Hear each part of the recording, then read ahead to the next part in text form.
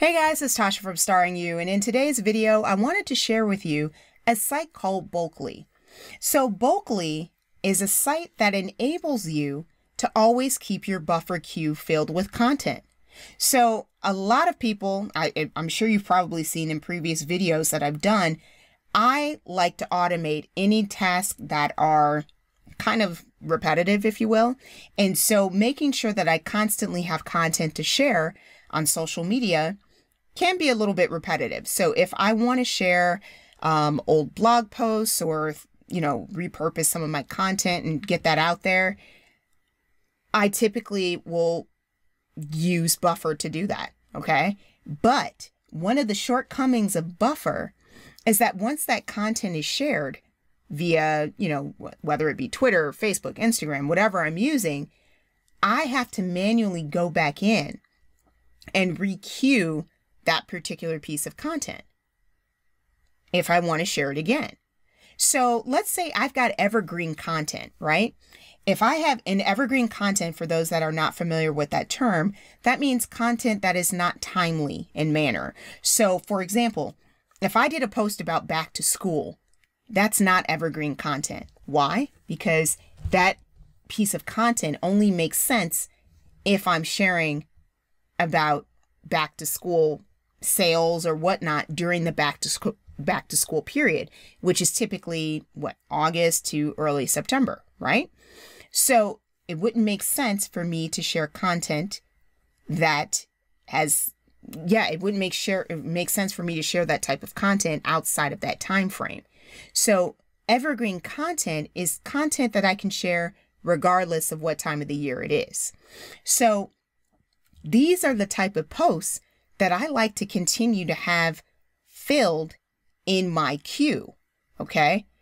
But if I were to just use buffer, I would have to kind of manually go in and pick out which one of these particular pieces of content that I want to use. Now, Bulk.ly, and this is why I want to share this with you guys, enables you to always keep your buffer queue 100% filled. I think that is awesome. So I pretty much have created, well, okay, let me jump into that. But guys, I want to make sure that you sign up for this. It's free for seven days. And uh, quite frankly, guys, the pricing is very reasonable. Okay. 12 bucks a month. I, I you can't beat that. Okay, guys, you really can't. For what they are offering, to me, this is a very good deal. And in addition to that, I just, I don't know, guys, my time is valuable. So if I don't have to think about, you know, having to make sure that I am manually sharing like older posts and things that things of that nature, I'm going to go ahead and do that. Okay. So one of the ways that you can go through and make sure that you're always sharing content is by creating a CSV file. I'm going to actually show you guys this function because I think this is really cool. So I've already done that. I've created a CSV file. And this is what my CSV looks like. So I have the group. You have the ability to actually group your status updates. And then I have the actual social update that I want to, you know, the content that I want to say. And then here's the URL. And then here is the image URL. So all of that is going to be uploaded into my queue. So I'm going to go ahead, make this bigger, upload. All right, look at that, guys. You see that? So everything is now uploaded into this queue. Okay. Now, I have the ability, I, I, and again, I, I group this as Twitter. So that's why this name right here is showing up as Twitter. So I'm going to click on Twitter to make sure that these updates are the ones that are going to be shared on Twitter.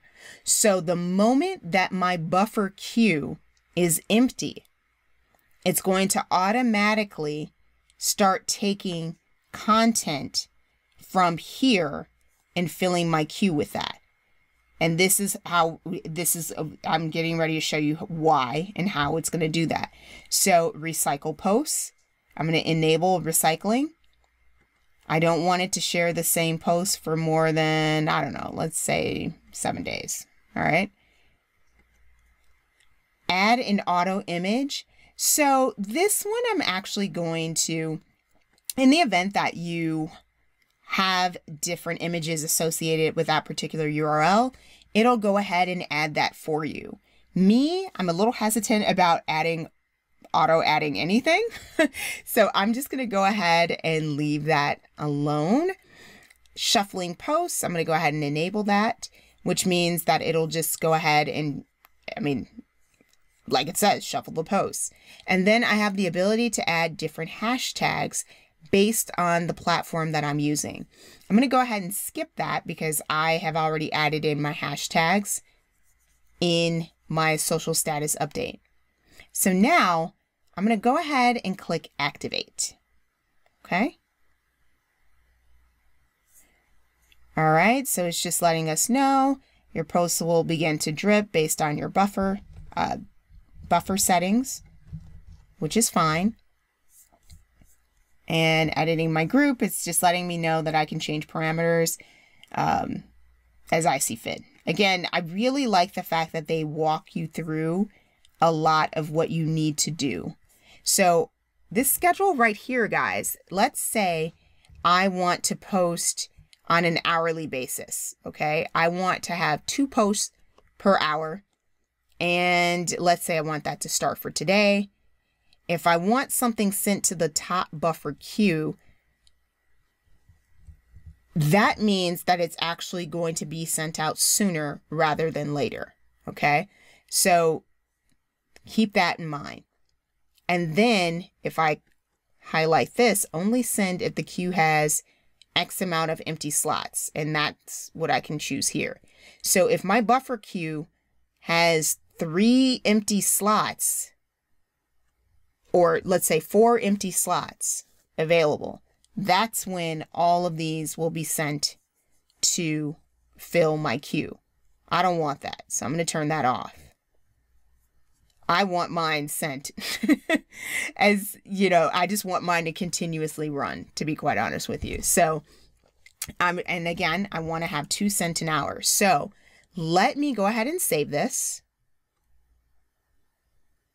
Okay. And now I'm going to go to buffer and I'm going to actually just share this little piece right now. So I want to show you guys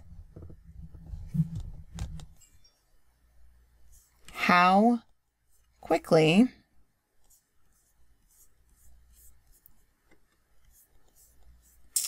it will share the content. And again, this is based on your schedule for buffer.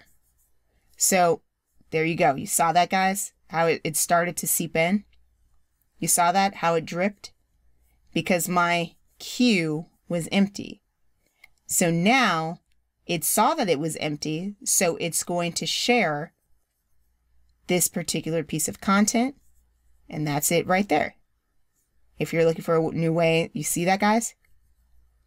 So again, I really, really enjoy this, uh, enjoy this tool. There's so many different ways that you could go about making sure that your buffer queue is always filled with content that your audience is going to enjoy. They have the ability to also do RSS automation. So you could upload your RSS feeds and constantly have content out there. And you can do, uh, you have the ability to look at your analytics. That's something that's coming soon. And yeah, I just, I really like this account, guys. I really, really enjoy having the ability to constantly have my evergreen content and not just evergreen content, but again, primarily my evergreen content being shared via the various platforms that I belong to. So I highly suggest that you guys take check out Bulk.ly. Give it a spin. I would I'm curious to see what your thoughts are regarding this. And again, some people may be like, well, why are you automating your social media? Again, guys, when I say automate your social media, I am saying your content that's more evergreen. Okay. I am not saying check out of social media completely because I do, you know, and anyone who knows me can see on my feed, I do check in quite a bit in order to ensure that people know that I'm a real human being. I'm not just sharing these articles and not trying to engage in conversation. So again, you need to make sure that you have a balance whenever you use a tool like this. One more thing I wanted to show you guys too is that in the event that you don't want to use a CSV file, you have the ability to actually import your posts that are already in buffer as your updates as well. Okay. But again, I don't have that much in my queue as you saw. I, so I just wanted to show you the CSV as an option, but you have the ability to actually add content a variety different ways. And again, they have so many little screen tips that will enable you to see, you know, how does this function work? How does this work? And look at that, guys, Twitter. And it even says two posts per hour. And that's how it's going to feed my buffer queue. You know, once this is this is gone, this is going to be the next tweet, if you will. Um, I'm going to go ahead and change that because I don't necessarily want mine going out two times per hour. I want to change that. But again, for the purpose of this demonstration, I just wanted to make sure that you guys were able to see that. Um, I personally like posting once per hour. Um, that's just me. You don't have to do that, but again, that's something that I am going to do. And again, if you look at my buffer queue, it's kind of, you can kind of see that too, except for the very early morning hours. But I know I have quite a few people that are overseas, so I want to make sure that I still have some content going, you know, so to reach that particular audience as well. So again, guys, I truly, truly, truly hope that you um, are getting a lot out of this particular tool. I want you guys to try Bulk.ly out, see what you think about it. Again, guys, I really, really would love to see your thoughts regarding this tool. Please be sure to check out Bulk.ly in the description and let me know what your thoughts are, guys. What do you think about these type of tools? because again, I love this tool. I actually think it's great for what it offers and the price. I, I, I don't know. Seems like a good deal to me. So very curious to hear your thoughts. Don't forget to like this video, share, and subscribe. See you in the next video.